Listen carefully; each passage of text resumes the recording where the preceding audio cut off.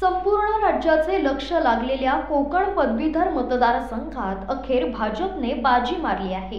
कोकण पदवीधर मतदारसंघात निरंजन डावखरे यांनी दुसऱ्या फेरीतच अठ्ठावन्न हजार मते मिळविली आहेत. तर काँग्रेसचे रमेश कीर दुसऱ्या क्रमांकावर राहिले असल्याने कोकण पदवीधर मतदारसंघातून भाजपाचे निरंजन डावखरे विजयी झाले आहेत.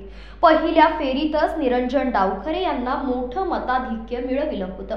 दुसऱ्या फेरीत चौऱ्याऐंशी हजारांची मतमोजणी झाली. त्यापैकी अठ्ठावन्न हजार मते निरंजन डावकर यांना मिळाली आहेत. तर काँग्रेसचे रमेश कीर यांना एकोणीस हजार मते मिळाली आहेत. दरम्यान सध्या तिसऱ्या फेरीची मतमोजणी सुरू आहे.